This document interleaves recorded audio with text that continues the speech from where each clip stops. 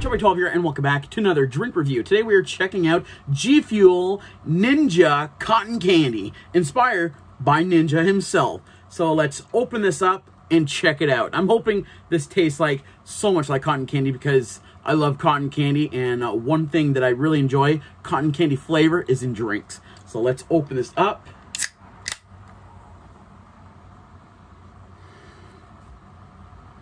Okay, I'm smelling something sweet, so we're gonna have to try it.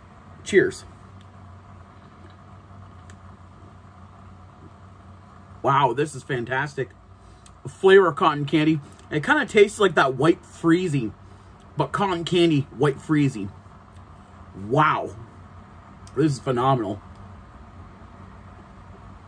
Oh, this definitely tastes like something that I would drink over and over and over again in the summertime.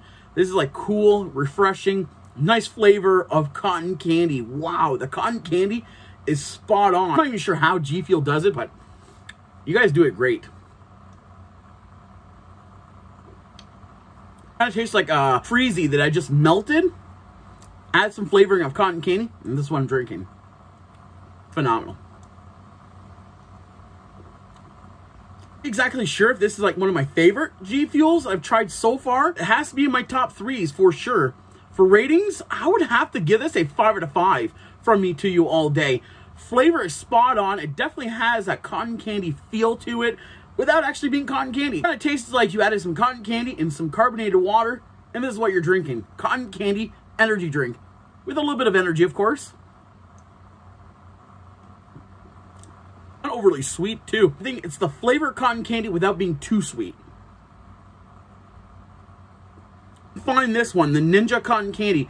Try this one first over the other ones phenomenal flavor. Question you guys, have you guys tried the G Fuel Ninja Cotton Candy, if you guys have, let me know in the comment section below on what you guys thought about it. If you guys enjoyed this review, if you guys did show your support, give this video a thumbs up and subscribe. Please ring all notifications, get notified instantly for free. Consider following me on Instagram. That's where I let you guys know what's coming up next. I want to thank you guys very much for watching. Definitely share this review with your friends and family, and I'll talk to you guys soon. Peace out.